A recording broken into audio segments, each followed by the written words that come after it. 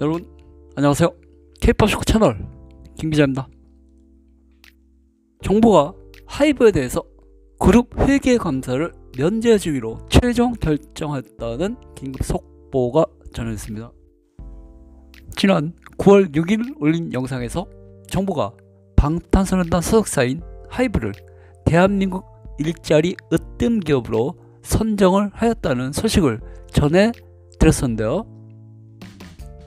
이에 따라 정부는 하이브에 대해서 향후 2년 동안 세무조사를 면제해주는 파격적인 혜택을 부여하기로 결정을 하였습니다.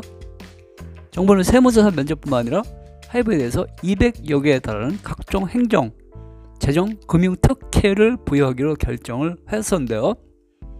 10월 9일 증권선물위원회는 하이브에 대해서 향후 2년 동안 연결 내부 회계 관리 제도를 면제해 주기로 결정하였다고 공식 발표하였습니다.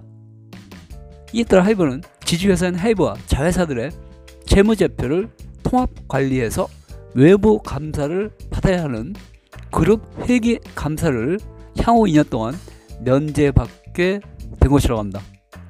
이로써 하이브는 향후 2년 동안 세무조사와 그룹 회계 감사를 모두 면제받는 파격적인 혜택을 부여받게 된 것이라고 하는데요.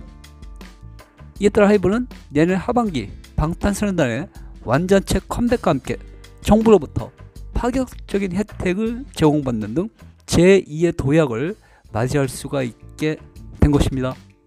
지금까지 K-POP 쇼 채널 김기자였습니다.